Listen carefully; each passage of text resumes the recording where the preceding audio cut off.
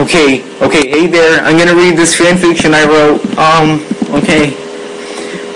Yeah, enters portal. Grabs your hand. Yo man, tell me what's going on. Let's just say I had to kill some people. then let me join my friendships. change from brown to black. I'm willing to turn you just to see you smile.